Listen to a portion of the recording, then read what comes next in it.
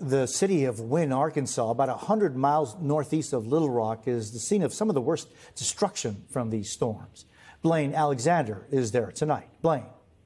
Well, Jose, this is what's left of a gift shop. It operated here for 26 years. Today, the family who owns it tells me right over there, that's their home. They were getting ready to move in just next week. In fact, when you look along the street, you see much of the same thing. This is just one small snapshot of the devastation here in Wynne.